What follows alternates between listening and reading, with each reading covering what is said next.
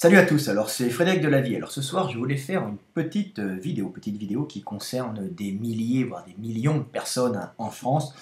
Une petite vidéo qui va parler de l'orthographe et des fautes d'orthographe, du fait de juger les gens sur leur orthographe.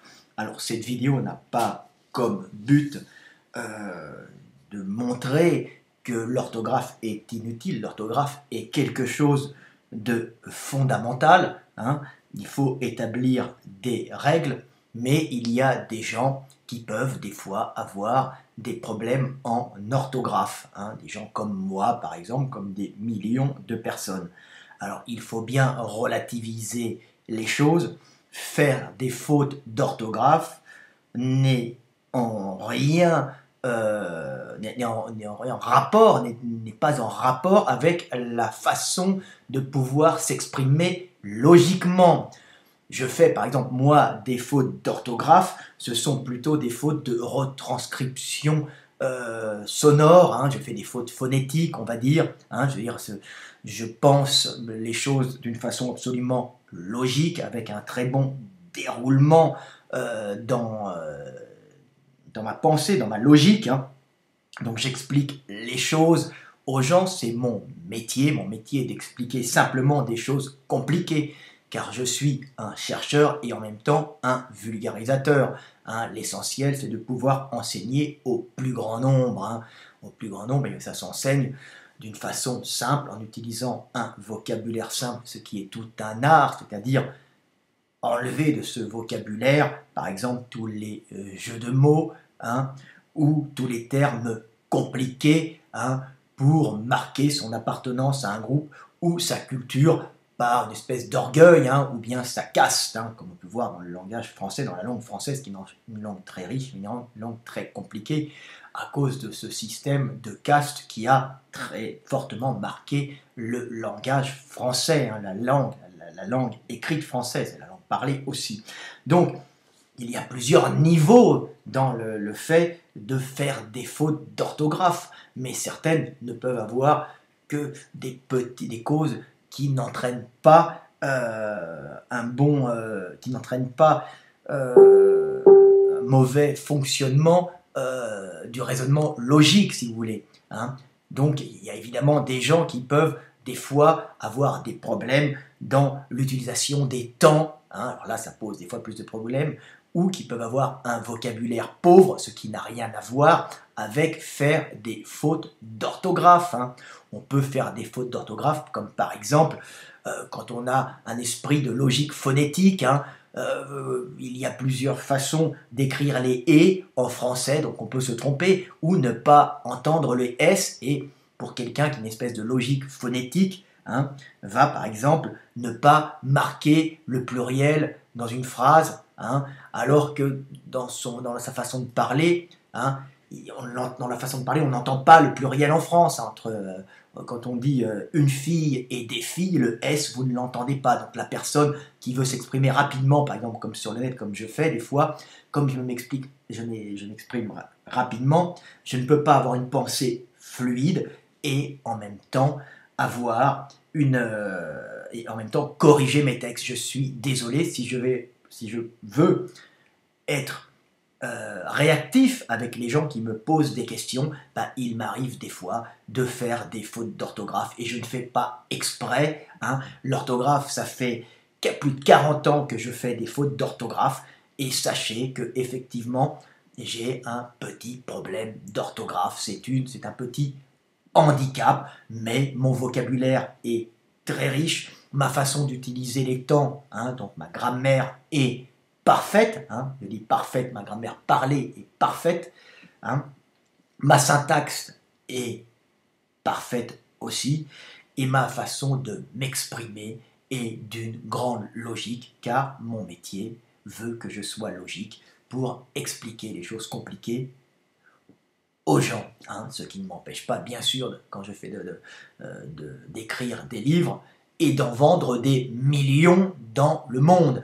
Car si les gens veulent savoir, hein, quand on fait, quand on écrit, quand on est écrivain, hein, j'écris et je dessine comme Léonard de Vinci, si vous voulez, et eh ben, on a quand on écrit, on fait des fautes d'orthographe, on a beau essayer de les corriger, derrière, il y aura tout le temps des gens qui vont passer pour corriger les textes pour qu'ils soient plus facilement lisibles. Hein.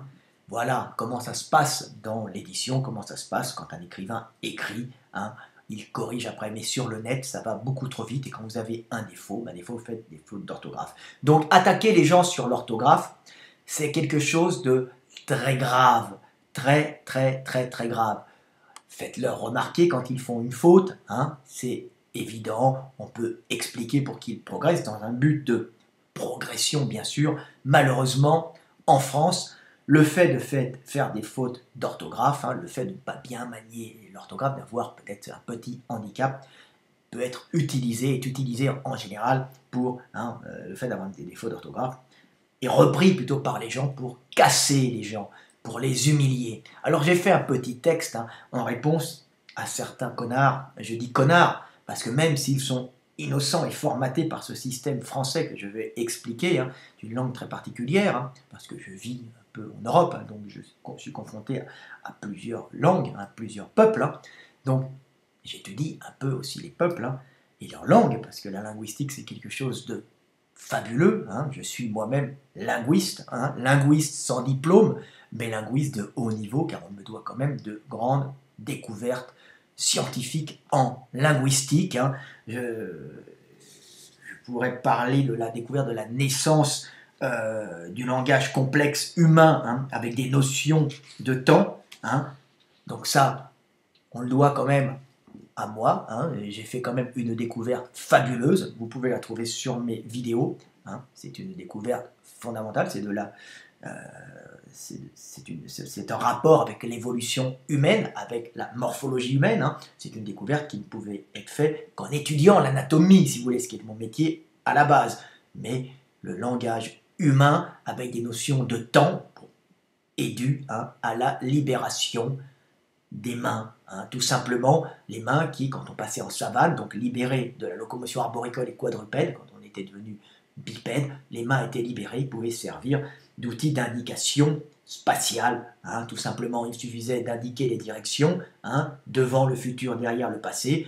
Ah, ah, ah, vous mettez un son sur le passé, oh, oh, oh, sur le futur, vous enlevez les gestes et vous vous retrouvez avec des notions de temps dans votre langage, permettant ainsi de pouvoir vous remémorer les choses par ce petit mot hein, qui correspondait à des gestes et qui vous permet de vous remémorer le passé et de d'envisager le futur. Et à ce moment-là commence l'homme historique, l'homme pouvant parler du passé et du futur et pouvant enseigner par le verbe et non par la reproduction mimétique. Hein. Voilà, pour vous dire que l'on peut faire des fautes d'orthographe et avoir une pensée logique qui va très très profond, qui va très très loin dans les abîmes de l'âme humaine. Donc ça m'énerve un peu le fait d'attaquer les gens sur l'orthographe. On attaque les gens souvent sur l'orthographe pour les humilier, hein, pour montrer qu'on est au-dessus d'eux quand on n'a pas d'autre façon de se dresser, hein, éteindre les autres pour briller, hein, ce qu'on rencontre souvent sur toute la Terre, mais particulièrement dans notre culture de caste française. Voilà, donc d'autres recherches que j'ai faites et d'autres découvertes fabuleuses, c'est la naissance, la naissance euh, de l'acquisition euh, du libre arbitre et de pouvoir choisir son avenir par le fait de, compresser des données sensorielles en mots, hein, ce qui permet d'utiliser très rapidement des données par les mots et de remplacer le réflexe conditionné par le langage, hein, le langage avec des mots, le langage parlé, hein, qui permet de penser beaucoup plus rapidement. N'oubliez pas que vous ne pensez pas en sensation. Hein. Quand vous pensez maman, vous ne la pensez pas avec l'odeur de maman, les cheveux de maman, les yeux de maman, le vent dans les cheveux de maman, le toucher de maman quand elle vous caresse. Non, quand vous pensez maman, vous mettez maman et toutes les sensations de maman sont stockées dans un mot, ce qui vous permet de libérer votre cerveau d'une masse importante de données, de penser beaucoup plus rapidement, ce qui permet face à un danger la plupart du temps, hein, un danger ou à une opportunité, de réagir beaucoup plus vite en organisant et en vérifiant tous les futurs possibles par le verbe, bien sûr. Hein. C'est ça le libre arbitre. Alors nous ne sommes pas totalement libres, bien sûr, car euh, nous n'avons bien sûr, nous dépendons de notre passé, de nos, un peu de notre vécu, hein, mais nous avons quand même une possibilité d'action plus importante que la plupart des animaux qui sont en réflexe conditionné. Hein, et s'ils veulent penser une action, ils vont la penser trop lentement. Et nous, notre façon de compresser les données, hein, en, les données sensitives en mots, nous permet de penser et de communiquer beaucoup plus rapidement, et donc d'agir plus rapidement en choisissant plusieurs Hein, plusieurs euh, futurs possibles. Hein. Voilà l'évolution du langage, alors qu'un animal, hein, il marche au réflexe conditionné. Réflexe conditionné, ça veut dire qu'il est parti à droite la première fois, ça lui a sauvé la vie. avec l'adrénaline, avec toutes les hormones, bah, les connexions neuronales, synaptiques entre les neurones qui ont été faites par cette action vont, euh, vont faire que ça son, action va s'ancrer dans sa tête. Hein. Il y aura de traceurs chimiques qui vont faire que les ponts synaptiques correspondant à cette action vont être plus épais. Quand il sera confronté au même problème, hop, et que ça lui aura sauvé la vie, il refera cette action hein, avec beaucoup plus de rapidité. C'est ce qu'on appelle un réflexe conditionné. Et eh ben, la parole, hein, avec le verbe, notion de temps, mais surtout avec les mots, permet de vous extraire du réflexe conditionné et de penser très rapidement votre avenir. Parce que si vous ne le pensez pas, Hein, euh, de penser votre avenir, parce que euh, si, euh, parce que grâce à ça, hein, vous pouvez agir hein, très rapidement en sélectionnant la solution qui vous semble la plus efficace, alors que l'animal ne peut pas vraiment sélectionner de, solution, il marche au réflexe conditionné acquis. Hein. C'est ce qu'on appelle une mémoire vive, c'est la petite mémoire vive de votre ordinateur. Bah, la petite mémoire vive de votre ordinateur, c'est les mots que vous avez stockés. Donc vous voyez qu'on peut faire des fautes d'orthographe et être un brillant linguiste. Donc ça m'énerve, hein, j'ai envie, ça m'énerve profondément. Alors j'ai fait un petit texte pour répondre à des connards, bien sûr, je dis des connards, parce que c'est très grave d'attaquer les jeunes quand ils font des fautes d'orthographe. Hein. je vais vous l'expliquer un peu. Alors ce petit texte, je vais vous le lire. Juger un homme sur son orthographe, c'est vraiment une attitude catastrophique. Combien de jeunes enfants pleins de talent, de qualité, n'ont plus osé s'exprimer par écrit après avoir été humiliés par leur petit handicap? Combien de vies brisées, combien de génies tués dans l'œuf, combien d'esprits brillants ne pouvant pas léguer leur savoir au monde? Ça dépasse de très loin la critique parfois constructive. C'est un, une véritable saignée que l'humanité subit quand on humilie des gens, les brisant pour la vie, vous ne savez pas quelle énergie il m'a fallu pour oser, coucher mes premiers mots sur le papier et affronter la raillerie et la méchanceté de ceux qui maîtrisent l'orthographe et qui en font le critère principal pour juger de l'intelligence d'un homme. Si je n'avais pas eu cette force, celle d'affronter la moquerie et le méchant jugement, vous n'auriez pas eu mes livres, ni mes pensées que je délivre par altruisme sur les réseaux sociaux, enseignés aux hommes après avoir appris des hommes. Pour finir, quand on me répond que l'orthographe est la politesse de l'écriture, hein, c'est ce que j'ai entendu, hein, on m'a répété ça, l'orthographe est la politesse de l'écriture. Je n'ai qu'une seule réponse à fournir. Va te faire enculer, connard. Voilà. Hein. On répète des phrases toutes faites pour faire bien, pour montrer son appartenance à un rang, à une caste, à un milieu. Ah, je maîtrise l'orthographe.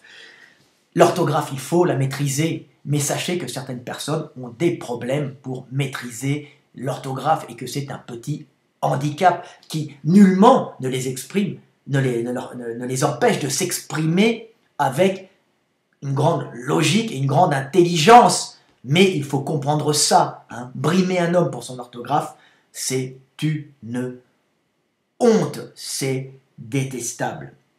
Vous allez briser des gens, briser des gens qui auraient pu sauver l'humanité en découvrant des choses fabuleuses. Vous allez en faire des gens qui resteront enfermés hein, en eux, qui n'oseront plus s'exprimer. Vous êtes des connards, tout simplement. C'est une honte, voilà. Ça m'énerve profondément. Hein. Donc, juger un homme euh, là-dessus, il faut vraiment, euh, faut vraiment être stupide. Alors, effectivement, l'orthographe en France, hein, et la, façon de parler, hein, la langue française, moi qui voyageais dans le monde entier, hein, je peux vous dire que la langue française est une langue qui est très compliquée. Pas compliquée par sa grammaire, absolument pas.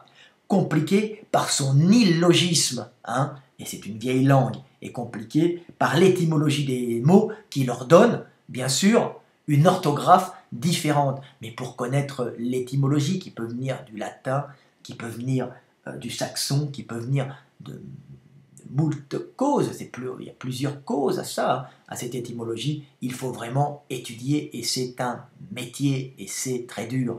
Depuis, de plus, la langue française hein, est une langue de sélection, de caste, c'est une langue avec plein d'illogismes. Pourquoi hein, hein, Plein d'illogismes pour pouvoir sélectionner les gens, les gens qui, par exemple, auront une langue française écrite, c'est-à-dire écriront la langue française avec perfection, sont souvent des gens qui ont pu être scolarisés très tôt et c'était une façon de séparer les gueux, hein, les gueux des castes dominantes. Hein. On reconnaît aussi, euh, c'est pour ça qu'on reconnaît les gueux, hein, ils ne savaient pas bien écrire, hein, c'était ça, hein, la langue française est exprès compliquée aussi pour sélectionner les, gens, c'est-à-dire que elle est la langue française a beaucoup de variété dans sa façon de, euh, de, nommer quelque chose. On peut avoir plusieurs définitions pour un seul mot. C'est une langue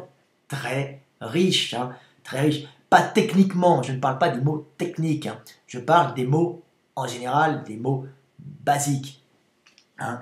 Euh, mais c'est une, une, une, une langue avec beaucoup de variétés de mots simples pour exprimer une même notion.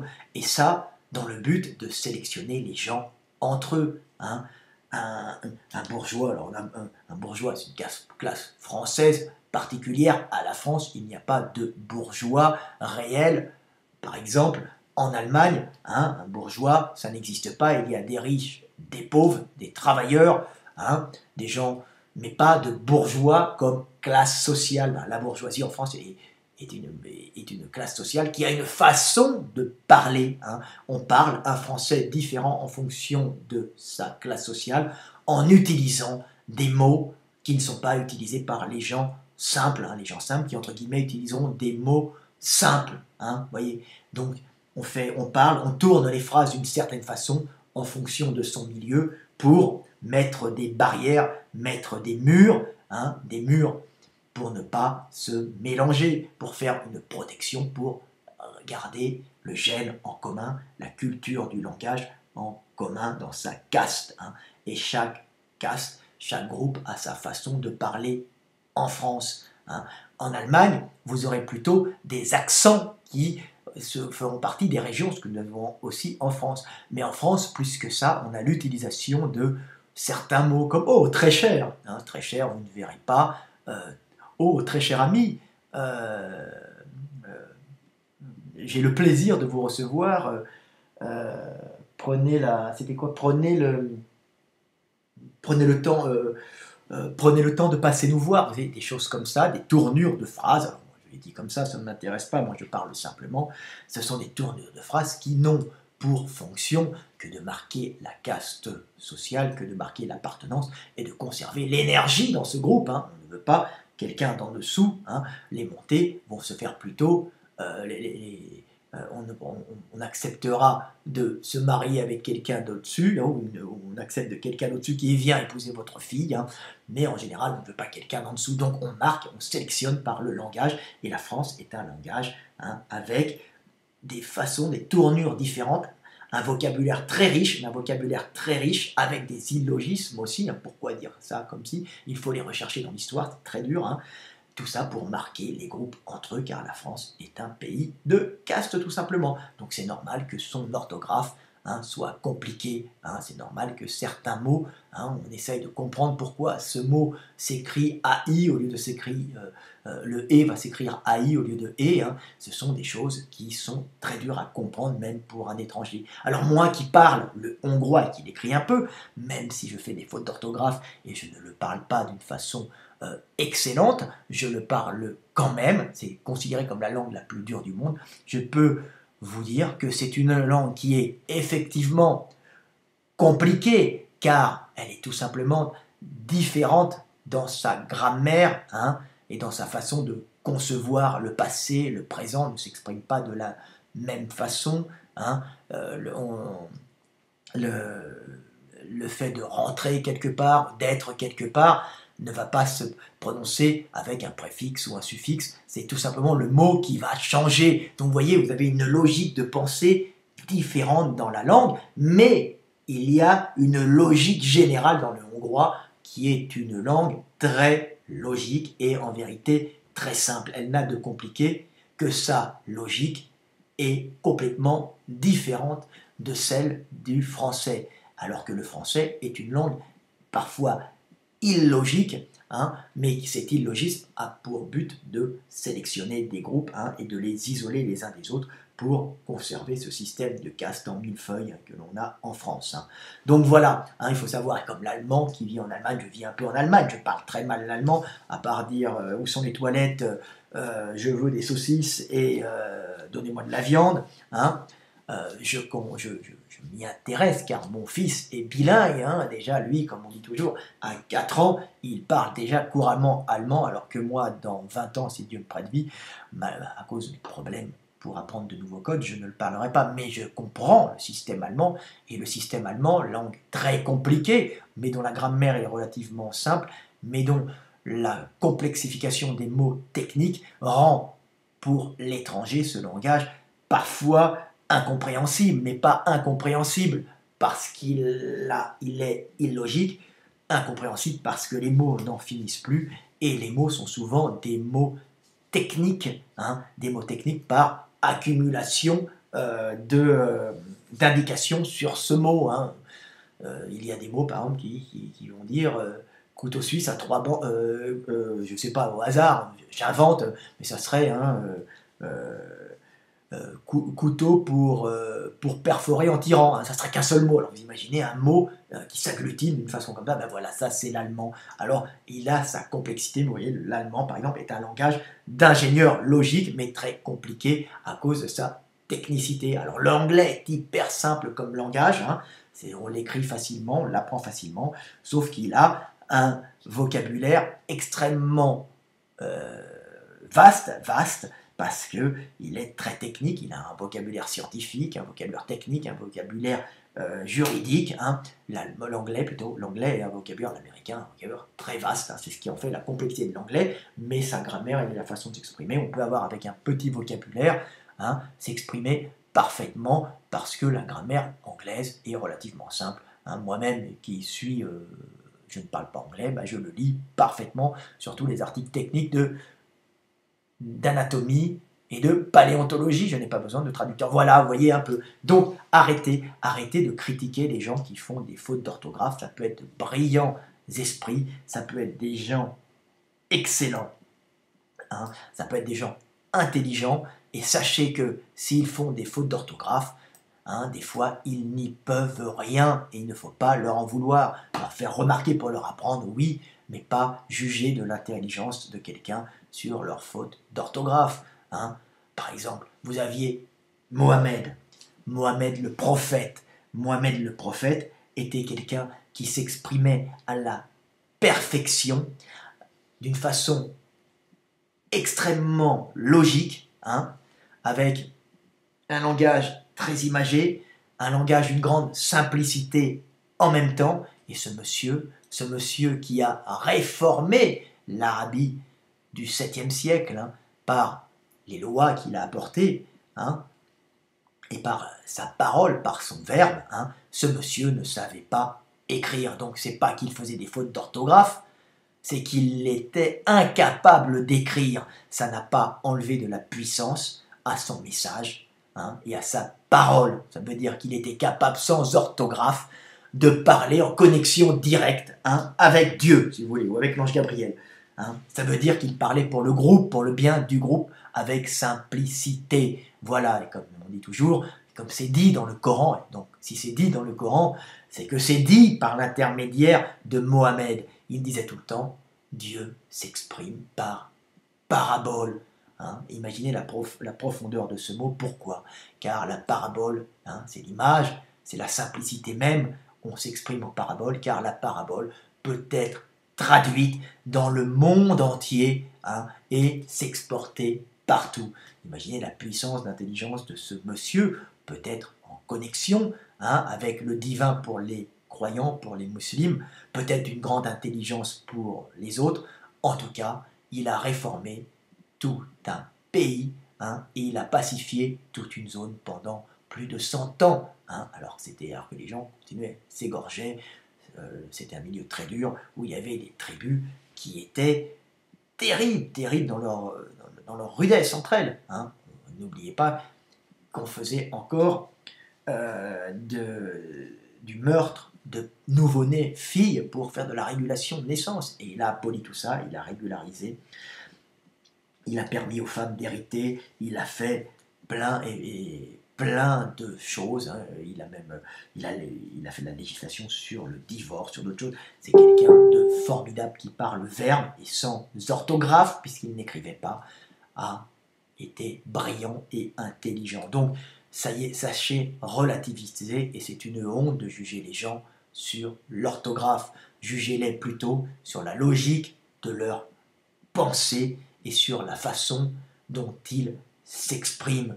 Et soyez indulgents. Hein. C'est assez énervant de voir ça. Soyez indulgents, car il en va hein, de l'avenir des hommes d'être indulgents avec les gens qui font des fautes d'orthographe, car vous pouvez briser des génies ou même briser des hommes à vie. Hein. Vous briserez un homme, mais vous pouvez aussi empêcher l'humanité d'avoir un savoir que cet homme pourrait transmettre s'il n'avait pas été brimé. Donc ne faites pas ça, je vous en supplie. J'ai dû combattre hein, pour pouvoir oser écrire à cause de tous ces gens qui sûrement par complexe hein, essayaient de m'écraser pour eux s'élever. On ne brille pas plus en éteignant les autres. Mon Dieu, aide-les. Voilà. Donc c'était ce que j'avais à dire. Pour le raisonnement et pour terminer, hein, je dirais que j'ai un raisonnement confucéen, hein. je suis dans la logique confucéenne, hein. je suis dans la logique confucéenne, et comme je dis tout le temps, Mohamed est mon modèle, tout en accordant une grande valeur à la parole du Christ qui a montré le chemin du sacrifice, se sacrifier pour les autres, pour que perdure le groupe, le groupe garant de la survie de l'individu. Hein. Voilà. Donc voilà, et pour terminer, je dirais hein, la dernière chose, petite blague que je sors toujours, parce que bien sûr ce sont des automatismes, hein, à force de me faire attaquer là-dessus.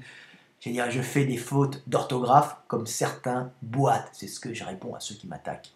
Te viendrais-tu à l'esprit de critiquer un boiteux sur sa démarche? Le sage parle de la lune, l'idiot ne retient que le bégaiement. Voilà. Allez, à bientôt et n'oubliez pas que Dieu parle en parabole. Salut